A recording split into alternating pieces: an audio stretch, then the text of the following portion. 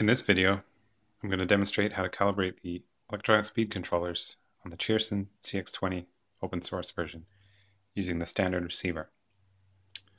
So, step one is removing the power from the power distribution board to the receiver.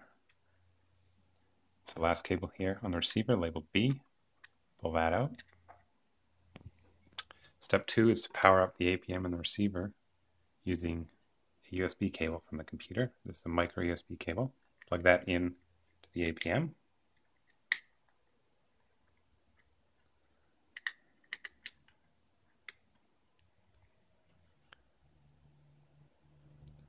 Once that's booted, power up the transmitter.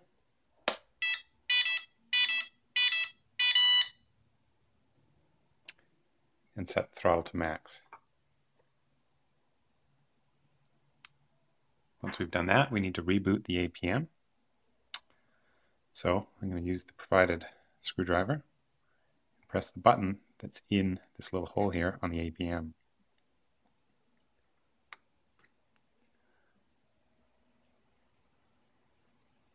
Once that's done, the light on the left will be flashing red and yellow, which indicates that the next time we restart the APM, it will go into electronic speed controller calibration mode. So let's restart it again.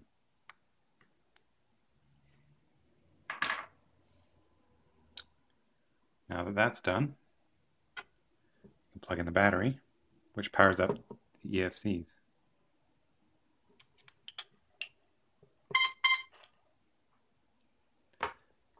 And then we hear the two beeps, and we reduce the throttle to zero.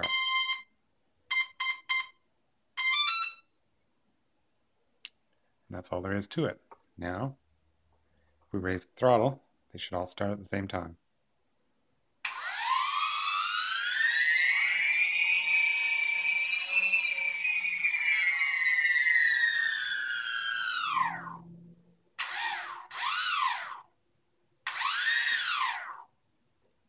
That's it.